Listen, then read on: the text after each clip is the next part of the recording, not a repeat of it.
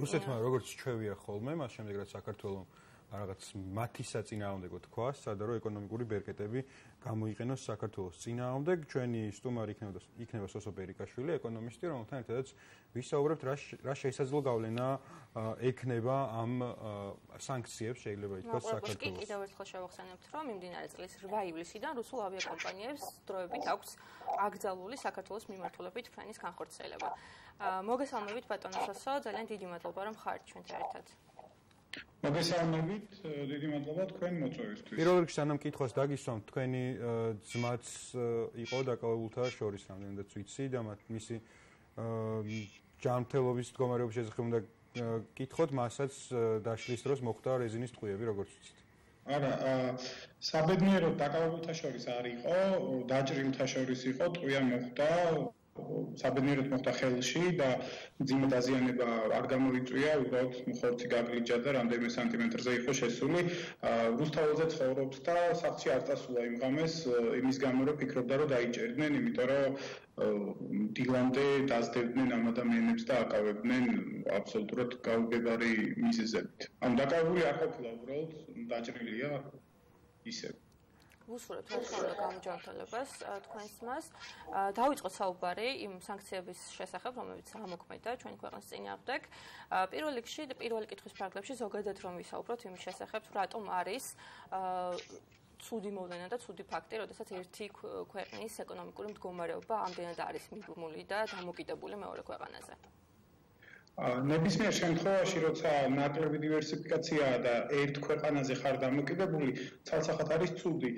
თავი რო დავანებოთ პოლიტიკურ მიზეზებს და ეს ერთი ქვეყანა კეთილ განწყობილიც რომ იყოს ჩვენ მიმართ, უბრალოდ ცუდია მარტო იმიტომ რომ რუსეთს მაგალითად ავიღებთ ეკონომიკურად არის არასტაბილური. თავის მხრივ თვითონ არის დამოკიდებული ნავთობზე და ეკონომიკური არასტაბილურობა რუსეთში შეიძლება აისახოს. სულ რო კეთილგანწყობილი იყოს მაგრამ ჩვენ ვიცით რომ რუსეთი არ არის ჩვენი კეთილგანწყობილი მეზობელი და შეუძლია პირდაპირ გამოიყენოს ეკონომიკური ბერკეტები საქართველოს დასასჯელად ჭკუის სასწავლებლად და ასე შემდეგ სოსო ბატონსო დიდი ხნის განმავლობაში როდესაც ხდებოდა პოპულარიზება მაგალითად რუსეთ რუსული ღვინის ბაზრის თუ რუსული მწვანილის ბაზრის ასევე როდესაც საუბარი იყო რომ რუსული ტურისტების ნაკადი უფრო მოვიზიდეთ სამცხორდ ბოლოს წლების განმავლობაში ვიდრე ევროპულ ახალ ბაზრებზე შევძელით. გასვლა ყოველთვის ეკონომისტები და პოლიტიკოსები საუბრობდნენ იმაზე რომ ეს ბაზარი გამოირჩევა არასტაბილურობით და დადგება აუცილებლად მომენტი, როდესაც ჩვენ ამ სახის დამოკიდებულების გამო დავზარალდებით. თქვენთვის რამდენად მოსაოდნელი იყო მოვლენების ამგვარი განვითარება და რამდენად სწორად მიგაჩნიათ ის ეკონომიკური პოლიტიკა ამ მიმართულებით, რომელსაც ჩვენი ქვეყანა ატარებს? რა თქმა უნდა, როცა საქმე ეხება რუსეთს, ჩვენ ვიცით, რომ და ეს არ არის ცხადია ჩემი პირადი აზრი ან ქართველების, ვისაც ქონია რუსეთთან ურთიერთობა საუკუნეების მანძილზე, ყველა მიცის, რომ რუსეთი არასდროს არ არის საიმედო პარტნიორი, მისგან ყველაფერს უნდა ელოდე. შესაბამისად, დამოკიდებულება ასეთ ქვეყანასთან არის ცუდი და ჩვენ კი ყველამ ვიცოდით, რომ ნებისმიერ დროს რუსეთს ეს ბერკეტი შეიძლება გამოეყენებინა, თუმცა ბოლომდე შეიძლება ჩვენ თავსაც არ უთხრდებოდით და გავზარდეთ ეკონომიკური დამოკიდებულება რუსეთზე. ყოველწლიურად და წელს განსაკუთრებით დიდი მოლოდინი იყო ტურისტული ნაკადის რუსეთიდან. ყოველწლიურად დიდით ამ ნაკადს და ეს რა თქმა უნდა საფრთხე იყო და აი ჩინა თავი. ნამდვილად არ იყო გამართლებული თუმცა მეორე მხრივ ამას თავისი მიზეზები აქვს. ობიექტურიც და სუბიექტურიც. მარტივი არის რუსეთის ბაზარზე გასვლა. ჩვენ ვიცით როგორ ვეურთიერთოთ რუსებს გამოცდილება გვაქვს ჩვენი მომსახურება, ჩვენი პროდუქცია, ვინო იქნება თუ ესოფლის ნორმების პროდუქცია, რომელიც შედარებით დაბალი ხარისხის არის, ვიდრე ევროსტანდარტებზე შეესაბამება, რუსებისთვის არის მისაღები და ადვილად იყიდება.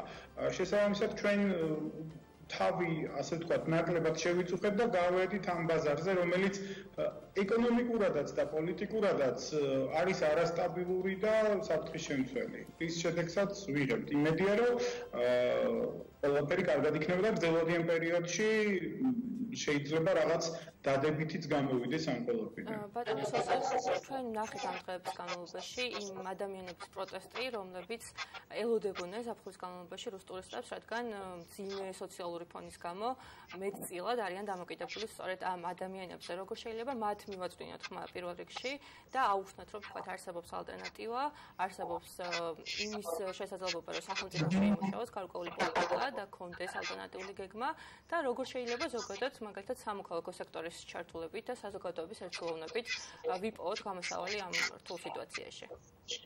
აა გარკვეული კატეგორია და საკმაოდ მრავალრიცხოვანი დიდი რაოდენობა ადამიანებისა ჩავარდნენ საკმაოდ ცუდ დღეში. ეს განსაკუთრებით ეხება აჭარას და შავი ზღვის პირეთ მთლიანად, იმიტომ რომ იქ განსაკუთრებით დიდი იყო რუსების და რუსი ტურისტების წილი.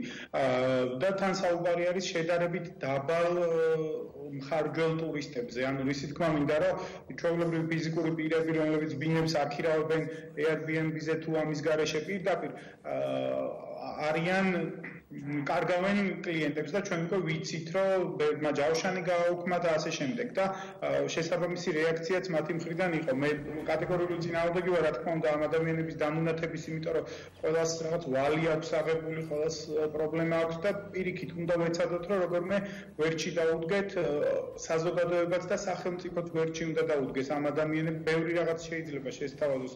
მაგალითად სესხების კომერციულმა ბანკებმა შეიძლება რაღაცა რესტურა რესტრუქტურიზაცია თუ გადავადება შესთავაზონ, რაღაც შეღავათების დაწესება შეიძლება სახელმწიფოს მხრიდან ბევრი რაღაც გაკეთება შეიძლება. თავარია რომ ჩვენ გავაცნობიეროთ, რომ ეს არის ჩვენი რეალობა და ეხლა არ აქვს მნიშვნელობა იმას, რომ ვისი ბრალია, ცუდად იყო დაგეგმილი თუ კარგად იყო დაგეგმილი, რეალობა გვაქვს ესეთი, რომ ჩვენ ვარ დამოკიდებული რუსეთზე და უკეთესი იქნება, რომ არ ვიყოთ დამოკიდებული რუსეთზე და ყველამ ყველაფერი უნდა ჩავდოთ ამისთვის და ყველა ერთი კითხვაც მინდა დაგისვათ ვიცი შემიძლია მოგილოცოთ ტოჩინოშინი დღეს უკვე ოფიციალურად ოძეკია და ტოჩინოშინის გაოძეკებას და ჩემპიონობას მოყვა ის რომ საქართველოს გახდა პოპულარული მათ შორის იაპონელი ტურისტებისთვისაც. ნუ უფრო პოპულარული ვიდრე მანამდე იყო.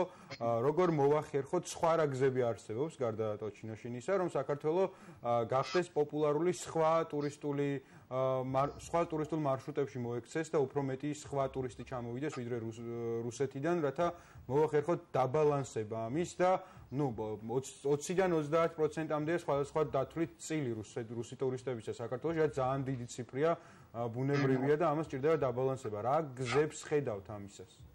საკმაოდ დიდი ციფრი არის, თუმცა რაოდენობრივად არის დიდი, მხარჯველობით იმდენად დიდი არ არის, მაგრამ პრობლემა მაინც გვაქვს. ჩვენ როგორც თავიდან აღნიშნე, ჯერჯერობით არ ვართ განვითარების ისეთ დონეზე, რომ ევროპელ ტურისტებს და ამერიკელ ტურისტებს შევთავაზოთ ყველა ის სერვისი და მომსახურება, რაც მათ ჭირდებათ.